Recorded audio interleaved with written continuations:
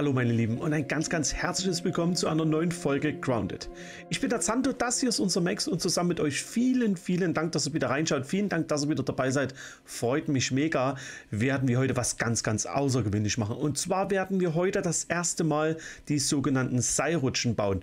Ähm, das ist im Prinzip so, dieses Gebäude bzw. dieses, äh, dieses Teil heißt im Prinzip Seilrutschen Ankerpunkt. Und zwar kann man da in relativ kurzer Zeit und mit hoher Geschwindigkeit vom Punkt A nach Punkt B. Ich gehe heute mal davon aus, dass wir zwei verschiedene Seil, Seilbahnen bauen. Ich nenne sie mal Seilbahnen und zwar würde ich gerne von unserem Ausgangspunkt der mysteriösen Maschine im Prinzip, die sich da hier befindet und hier daneben ist ja natürlich unsere Basis, ähm, zum natürlich zur Basis an der Hecke einen Ankerpunkt setzen und den nächsten Ankerpunkt natürlich von der mysteriösen Maschine Richtung Eiche, ähm, Richtung die ja, wie soll ich das sagen, Richtung die riesengroße Eiche, das würde ich auf jeden Fall auch machen wollen.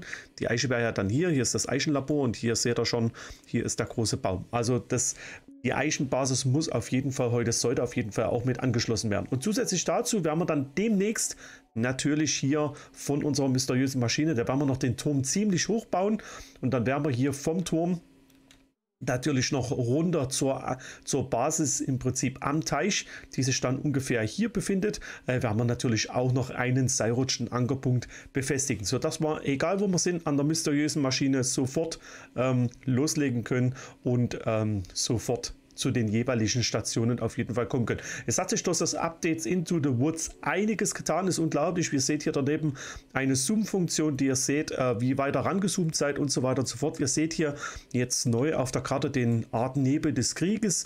Da seht ihr immer, wie weit ihr die Karte aufgedeckt habt, beziehungsweise wo ihr wart schon auf der Karte, beziehungsweise wo ihr euch gerade befindet und so weiter und so fort, die ganzen Wegpunkte.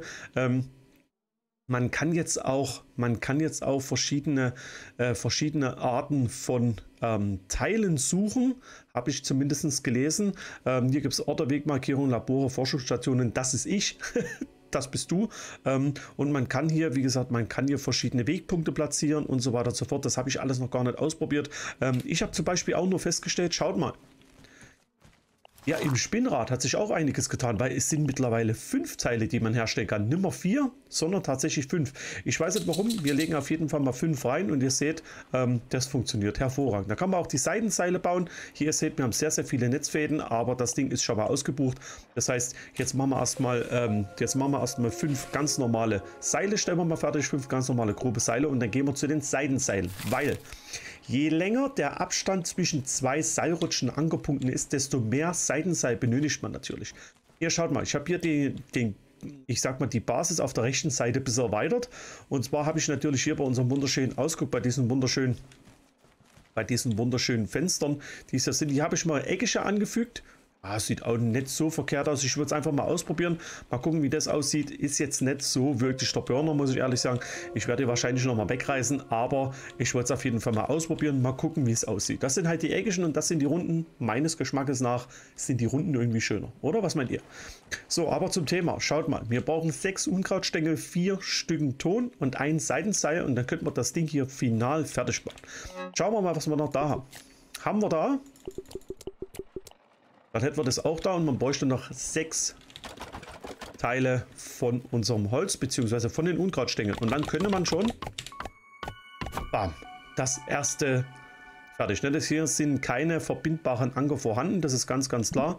Ähm, man kann hier immer, wie es aussieht, zwei Stück verbinden oder vielleicht sogar mehr. Ähm, genaueres kann ich euch noch nicht sagen, weil ich es einfach nicht weiß. Ich weiß es einfach nicht. Aber so sieht das Teil aus. Natürlich kann man das, ähm, man kann die Seilrutschen verbinden, man kann das ähm, jederzeit irgendwo hin basteln. Ähm, ja, und so weiter und so fort. Ah, man kann das hier gar nicht. Okay, man kann das nur kopieren, aber man kann das nicht nochmal irgendwo hinpacken. Okay, okay, wieder was gelernt. Okay. Übrigens habe ich gelesen, kann man mit diesen Seilrutschen Ankerpunkten nicht nur sich selber befördern, sondern auch verschiedene Materialien. Ich sage jetzt mal zum Beispiel die Blätter, also die, die, wie soll ich das sagen, diese, diese, ja, zum Bauen von diesen ähm, Plateaus, die man da hier nicht dafür braucht. Ne? Diese ganz normalen Blätter, die man hier mal schön abgrasen kann, die kann man, könnte man auch wahrscheinlich damit befördern. Ich mache jetzt meinen kleinen Schnitt rein, meine Lieben. Ich werde nämlich jetzt auf jeden Fall mal rückzu wieder zu unserer Basis an der mysteriösen Maschine laufen. Dauert natürlich, wenn man was äh, Huckepack hat und wenn man das mitnehmen will, dementsprechend länger. Und genau deshalb mache ich jetzt mal einen kleinen Schnitt rein. Wir sehen uns dann wieder an der mysteriösen Maschine. Bis gleich, meine Lieben. So, meine Lieben, wir sind hier an der mysteriösen Maschine angekommen. Ähm, ich habe in der Zwischenzeit mal noch ein bisschen was vorbereitet. Das habt ihr natürlich nicht wirklich gesehen. Ist aber auch nicht schlimm. Ähm, das, was wir hier auf jeden Fall machen wollen, ist jetzt hier die Treppe zu bauen und natürlich unten einen kleinen Anschluss. Ähm, dazu habe ich noch ein bisschen Holz mitgebracht, ganz klar. Ähm, dann machen wir mal die erste Treppe fertig und bei der zweiten machen wir natürlich auch gleich mal setzen das Holz an und dann werden wir hier nacheinander gleich mal die Treppenelemente mit anziehen. Ähm, dadurch, dass jetzt auch die Treppe fertig ist, können wir natürlich auch das Gras hier außen mit ansetzen, dass es im Prinzip eine schöne Wand gibt und dann könnten wir auf jeden Fall theoretisch noch ein bisschen weiter nach oben basteln. Ich bin mal gespannt, wie das aussieht gleich. Ähm, Ah, dazu bräuchten wir dann natürlich auch entweder ein Plateau, was gerade geht, oder dann natürlich hier oben wieder eine kleine Wand. Das ist alles kein Problem. Basteln wir mal schnell. Ja, man braucht dann zwischendurch immer nur irgendeinen Punkt. Hier zum Beispiel die Wand und schon kann man hier natürlich auch die Treppe hinbasteln. Das ist alles kein Thema. Äh, man bräuchte da natürlich irgendwie, ähm, bei Grounded ist immer so, man braucht da so einen Stabilisierungspunkt dafür. Aber ihr seht, das funktioniert.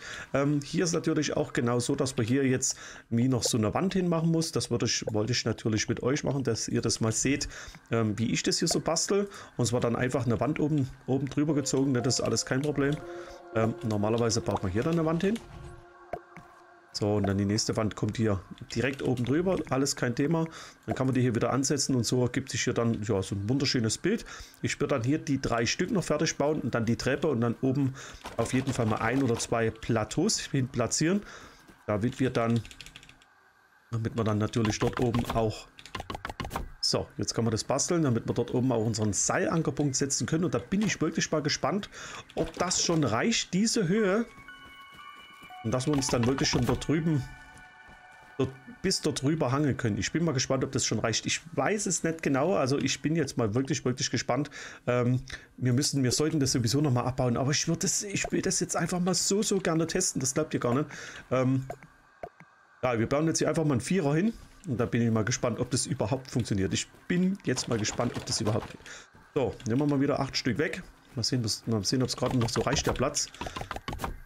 Oh, gerade so. Ihr merkt schon meine Nervosität. Ein bisschen angespannt bin ich schon, weil wie gesagt, da habe ich so lange drauf hingearbeitet und ähm, ja, jetzt ist es dann endlich soweit. Ein Viererplateau ist gesetzt, meine Lieben. Schauen wir mal, dass wir hier auf jeden Fall hier die, den Seilrutschen Ankerpunkt natürlich auch hierher setzen. Und zwar genau so. Ne, schön mittig. Und dann bräuchten wir natürlich dasselbe. Unkrautstängel, Seitenseile und Ton. Die habe ich natürlich, ja, die habe ich vergessen ne, mitzubringen. Ähm, Holz langt definitiv nicht.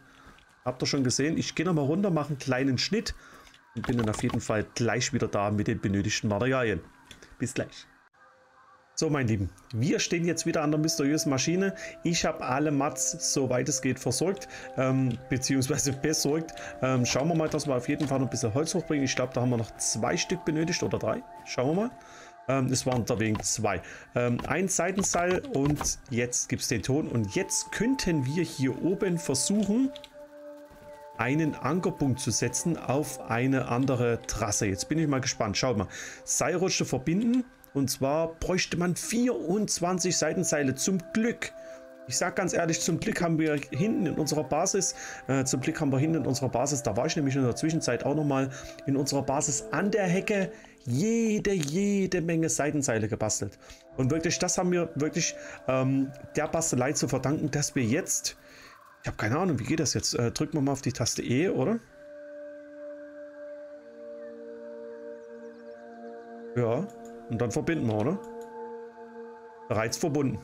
Okay, und jetzt, ah, und jetzt müssen wir die zack, zack, zack nacheinander verbinden. Mega geil. Und jetzt, meine Lieben, es ist soweit die erste Seilrutschenfahrt, wenn es überhaupt möglich ist. Aber so wie es aussieht, ist gefällig genug da. Ich bin gespannt. Ich bin richtig nervös. Ich bin echt nervös. Boah, jetzt, jetzt bin ich gespannt. Okay, mein Lieben, los geht's. Okay, es geht relativ langsam voran. Aber es geht voran, mein Lieben. Es geht voran. Es geht voran. Okay, wir sollten auf jeden Fall noch ein bisschen Gefälle basteln. Und dann nutzen wir halt dieses, dann nutzen wir halt dahin diesen Seilrutschen, Ankerpunkt nutzen wir halt für irgendwas anderes, wenn wir halt zumindest mal runter wollen. Ähm, irgendwohin, vielleicht unten ins Gras rein. Aber schaut mal, es funktioniert, es geht. Ich glaube das nicht. Ah, ist das geil. Es ist sensationell. Ich, ich flippe aus. Die ganze Zeit darauf hingearbeitet und so weiter und so fort. Und dann, oh, ich weiß ja schon unser nächstes Ziel. Ähm, unser nächstes Ziel wird dann auf jeden Fall sein, die Waffen noch weiter zu verstärken. Äh, das sollten wir uns dann in ein anderes Labor begeben, mein Lieben. Und ich habe gelesen, das ist dann hier in dieses Giftlabor, in der Giftzone. Da müssen wir rein. Und den Chip sollten wir uns dann auf jeden Fall auch holen. Da warten wir mal noch auf den Bürgel. Ähm, ich würde mal sagen, das süße Rätsel, den Bürgelchip, den, den brechen wir ab.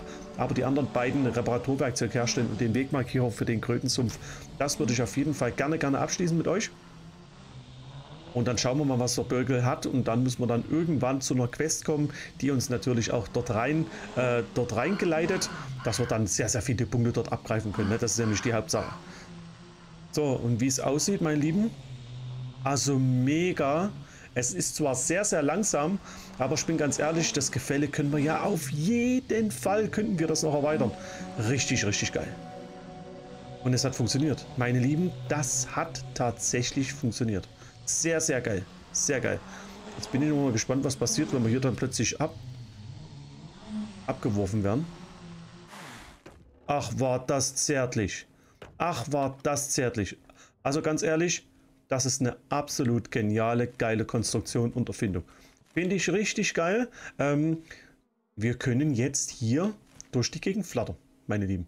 Jetzt wird mich nur noch eins äh, interessieren. Könnte man jetzt Natürlich müsste man äh, auch unsere Basis an der Hecke noch dementsprechend wirklich, wirklich viel, viel höher bauen. Also ihr habt es gesehen, also mit zwei, drei Stockwerken ist da nichts gemacht. Ich würde da eher sagen, dass wir vielleicht entweder unsere Basis im zweiten Stock abschließen und dann wirklich mit den Kleedächern eine extremste Erhöhung bauen und dort oben im Prinzip äh, das zusammenführen zu einer ja, ne, zu einem einzig, äh, zum einzigen Seilrutschen-Ankerpunkt oder das vielleicht noch anders machen, weil ich würde auch gerne von hier aus der, der Punkt liegt hier, ihr seht, der Punkt liegt sehr weit im Südosten. Da würde ich auf jeden Fall noch schauen, dass wir zumindest mal vielleicht Richtung Teich auf jeden Fall noch einen bauen. Ich hätte da zum Beispiel die Forschungsstation im Blick. Oder wenn alle Stricke reisen, könnten wir selbstverständlich auch zu unserer Teichbasis von hier aus. Ne? Das wäre alles kein Problem. Schaut mal, ich sage mal, wir könnten locker gut und gerne hier den ganzen Teich überqueren ähm, beziehungsweise den, dieses ganze Feuchtbiotop könnte man eigentlich locker überqueren und dann eigentlich Richtung Eiche dort hinten mit einer dementsprechenden Höhe hier könnte man das auf jeden Fall bewerkstelligen. Also ihr seht, der Kreativität sind keine, keine Grenzen gesetzt. Was machen wir als nächstes? Natürlich werden wir jetzt noch als nächstes, ähm, da sammle ich noch die Mats zusammen, das machen wir aber definitiv dann in der nächsten Folge. Ich wollte diese Folge eigentlich mit euch zusammen jetzt das erste Mal so einen Seilrutschen Ankerpunkt bauen. Das haben wir geschafft, mein Lieben. Es ist soweit endlich, endlich geht's los. Ähm, was machen wir in der nächsten Folge? In der nächsten Folge werden wir nochmal einen Seilrutschen-Ankerpunkt setzen. Und zwar würde ich dann sehr, sehr gerne probieren, natürlich die Basis an der mysteriösen Maschine mit der Basis an der Eiche so weit zu verbinden, dass wir auch da relativ schnell äh, mit diesen mit diesen Ankerpunkten durch die Gegend rutschen können. Das wäre zumindest mal mein Ziel für die nächste Folge. Dazu ist noch jede, jede Menge Material zu farmen, weil ich muss natürlich auch in der Eiche oder an der Eiche dafür sorgen. Schaut mal, da drüben ist unser, unser Plateau, was Richtung der Basis am Teich geht. Ähm, ich, ich sollte auf jeden Fall dafür sorgen, dass wir auch an der Eiche richtig hoch bauen, also richtig, richtig hoch. Das wird, ein, das wird auch so eine kleine niedliche Basis um die Eiche rum. Und an der Eiche würde ich dann auf jeden Fall sagen, dass wir uns dort in Rück, sagen wir mal, so einen Ankerpunkt ein bisschen weiter oben setzen und dann auf jeden Fall, dass wir wieder zurückkommen. Ne? Das ist ganz, ganz klar. Aber ihr seht schon, vom Niveau her müssen wir mindestens, mindestens sollten wir bis zu den Baumpilzen hoch. Weil unten drunter, ihr seht schon, ne, unten drunter hat man, also ich sag mal, ähm, da ist man genauso langsam wie hier. Und deshalb würde ich ja sagen, wir brechen hier diesen Ankerpunkt natürlich irgendwann später wieder ab. Mich spürt das nochmal ein, was interessieren, ob das auch geht. Ich verrate es mal noch nicht. Das würde ich jetzt gerne zum Abschluss der Folge machen. In der Zwischenzeit. Dankeschön, Max. Zwischenzeit noch einen Schluck Wasser zu uns genommen. Und dann würde ich mal jetzt mal so, so eine Grasplatte stemmen. Die schaffen wir jetzt mal hoch. Und zwar würde ich das gerne mit einem Stück Holz probieren und mit einem Gras. Moment. Hier ist es, ne? So, und jetzt würde ich hochgehen. Kann man das? Nein. Das ist ja genial. Also, man kann nicht nur sich selber hin und her fahren, sondern man kann auch die dementsprechenden Teile hin und her fahren lassen. Das ist ja genial. Also hier kann man farmen, dann kann man bis ganz hoch laufen und da hier kann man, wenn es schnell gehen soll, kann man von hier auf jeden Fall ganz, ganz locker, kann man auch bis da drüben äh, bis da drüben die Teile dann fahren lassen. Äh, die, ich denke mal, die werden da drüben dann abgeworfen und dann könnte man da drüben dementsprechend, wenn man schnell viele Material, Materialien benötigt und einen schönen Farmspot gefunden hat, einfach einen Turm bauen, obendrauf eine Seilrutsche, eine Seilrutsche, die höher ist zu dem eigentlichen Plateau, äh, wo man die Teile hin haben möchte und dann zack, zack, zack, nacheinander wirklich das Gras hier äh, deponiert und dann einfach fortgefahren. Ich finde das ja mega, diese Idee. Also, dass die das noch mit implementiert haben, finde ich echt toll. Wow, wir haben heute ganz schön was gesehen, oder mein Lieben? Ich sag mal, bis hier drüben sollten wir natürlich noch etwas Material farmen. Ihr habt ja gesehen, wie hoch dieses Plateau hier ist. Ähm, dieses Plateau hier oben würde ich auf jeden Fall beibehalten, sodass wir hier eine kleine, sodass wir hier auf jeden Fall von da oben schon mehr Gefälle hier runter haben. Und da hinten würde ich dann, ich hätte mal entweder ganz hinten oder so kurz vor der, vor der Basis an der Eiche, würde ich auf jeden Fall den nächsten Ankerpunkt setzen. Und dann würde ich von hier aus direkt darüber, weil schaut mal, das Gefälle bietet es an. Und dann würde ich jetzt sagen, nächste Folge machen wir es wie gesagt so. Ähm, wir machen es doch mal hier pro forma, klemmen das an. Und zwar würde ich natürlich dann hier schon den nächsten Seilrutschen Ankerpunkt setzen und würde dann direkt Fahrt da drüben den nächsten Punkt ansetzen. Okay? Ähm, wir könnten ja auch noch, noch eine Seilrutsche verbinden. Aha. Hätte diese bereits ver... Haben wir da nur eine? Man könnte die aber nicht... Man kann die aber nicht drehen, oder? Kann man das echt für zwei benutzen? Bräuchte man hier gar keine zu bauen. Okay, wieder was gelernt. Ich habe gedacht, dass es nur einzeln geht, aber so wie es aussieht, kann man auch mehrere Punkte miteinander verbinden. Das ist ja genial. Schauen wir uns in der nächsten Folge an, mein Lieben. Vielen, vielen Dank fürs Zugucken. Wenn es euch gefallen hat, ich würde mich riesig freuen, wenn ihr natürlich auch in der nächsten Folge wieder mit dabei seid. Nächste Folge, natürlich geht es weiter mit den Seilrutschen und dann Richtung der Basis an der Eiche. Und dann schauen wir mal, dass wir vielleicht mit den, mit den Seilrutschen auch Richtung unseres Teiches kommen, oder? Wir sehen, also von hier aus sehen wir nur den kleinen, ja, wie soll ich das sagen, nur die kleine Laterne, beziehungsweise die, ja, den kleinen Pavillon mit der Forschungsstation da drüben. Und unsere Basis ist ja eigentlich hier hinter dem Geäst, ne, hinter den Wurzeln. Da ist eigentlich unsere Basis und da sollten wir auf jeden Fall auch so einen Seilrutschen-Ankerpunkt setzen. Oder was meint ihr? Aber das alles natürlich in der nächsten Folge. Bleibt gesund und bis zum nächsten Mal. Euer Zanto. Bye, bye. So, mein Lieben, entschuldigt bitte noch ein kleiner Nachtrag. Und zwar, ähm, ich konnte es einfach nicht lassen. Mir haben die Finger nochmal gejuckt und zwar habe ich jetzt nochmal an der Teich äh, bzw. an der Eiche Basis, ähm, für die Teichbasis habe ich auch schon zwei, drei Sachen vorbereitet, das aber wollte ich dann in der nächsten Folge, ähm, ich sag mal in dieser Folge machen wir auf jeden Fall natürlich noch die Seilbahn und die Seilrutsche fertig, sodass wir auch natürlich von unserer Basis der mysteriösen Maschine hier rüberkommen. Das ist allerdings kein so großer Weg. Ich habe das hier schon mal so pro forma aufgestellt. Ähm, natürlich machen wir das jetzt alles nochmal ganz in Ruhe zusammen. Ähm, dazu muss man natürlich hier diese Seilrutschen Ankerpunkte setzen. Ne, die kommen dann hier so her. So, nur mal schauen, dass die relativ gerade sind.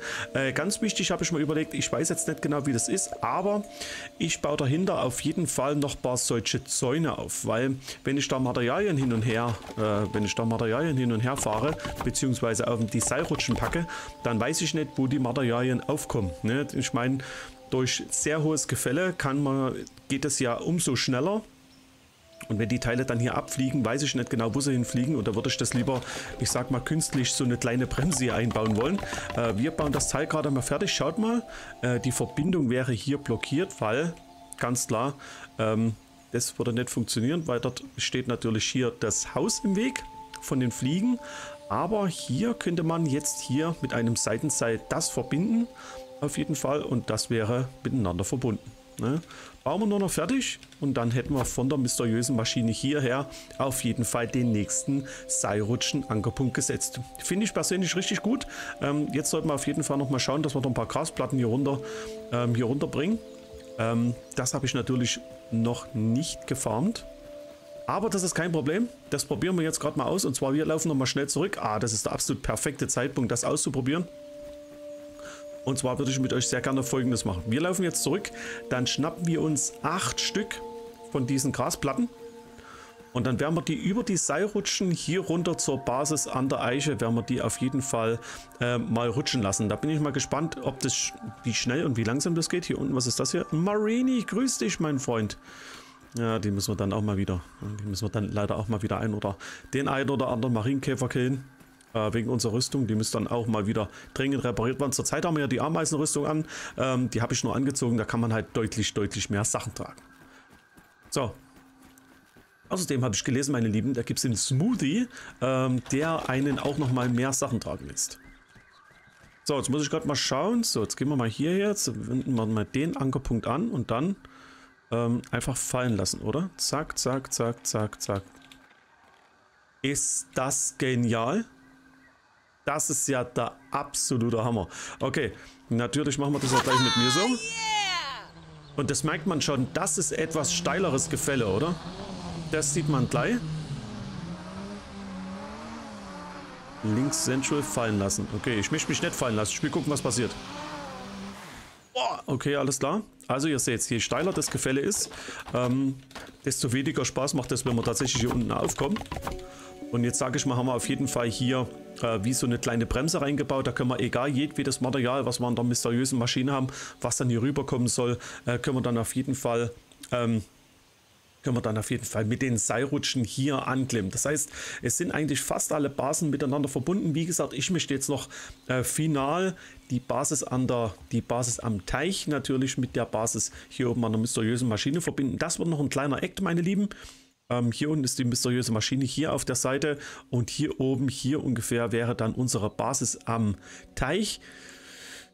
Schauen wir mal. Schauen wir mal, wie wir das irgendwie verbinden können. Ähm, wir müssen auf jeden Fall auf einer Seite nochmal ziemlich hoch bauen. Ich denke mal an der mysteriösen Maschine, der Seilrutschen-Ankerpunkt wird noch etwas zu tief liegen. Ich denke mal, da müssen wir noch etwas höher hinaus, damit wir erstens die erstmal die Teichbasis überhaupt sehen, weil da brauchen wir freie Flucht nach unten.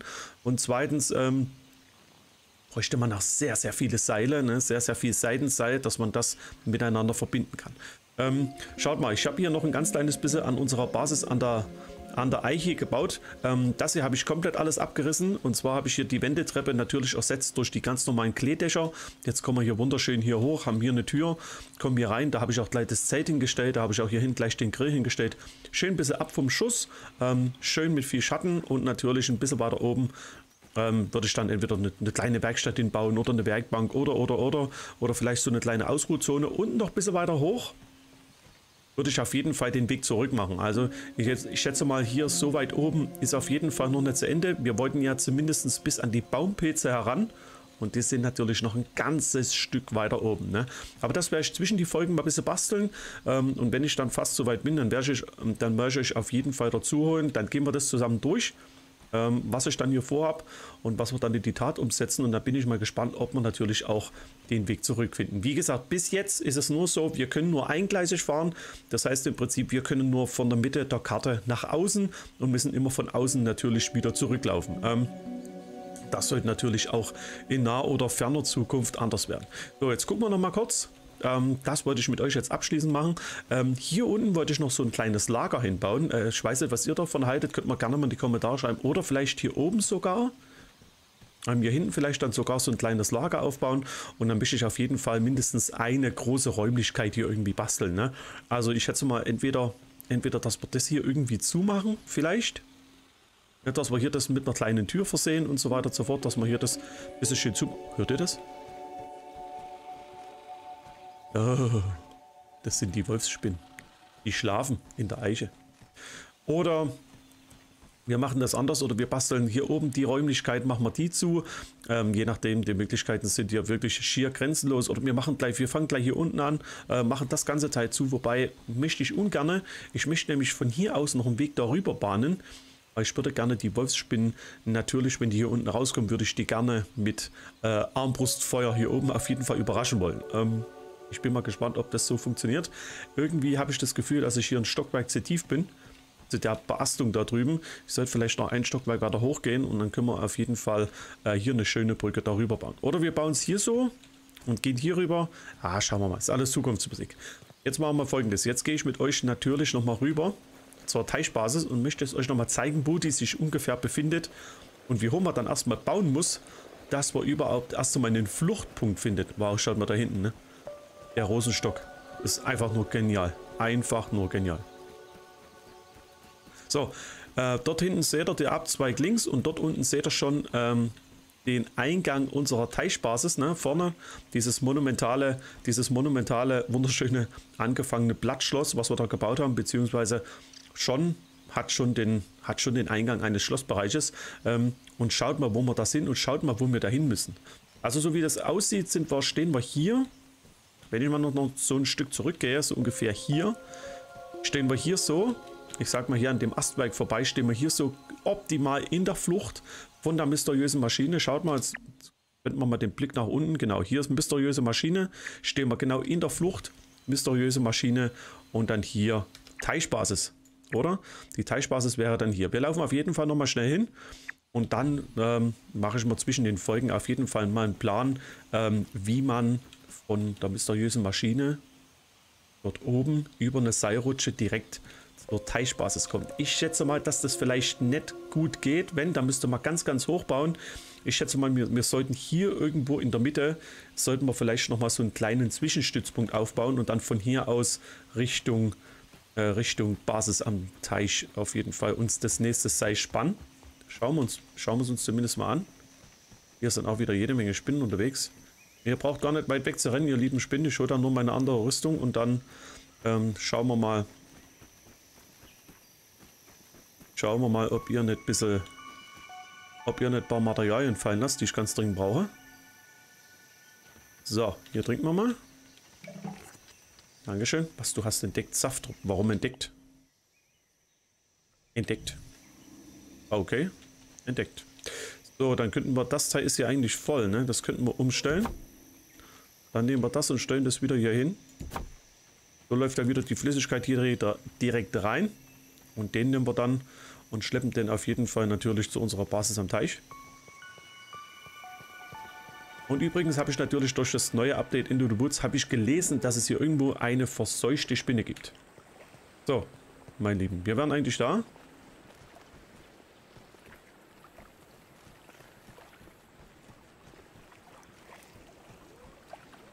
So, jetzt stellen wir noch das Teil hier auf. Dann zeige ich euch das kurz. Und dann, meine Lieben, sehen wir uns in der neuen Folge wieder. Ähm, gucken wir noch schnell da hoch. Schaut mal, hier ist der höchste Punkt hier oben. So.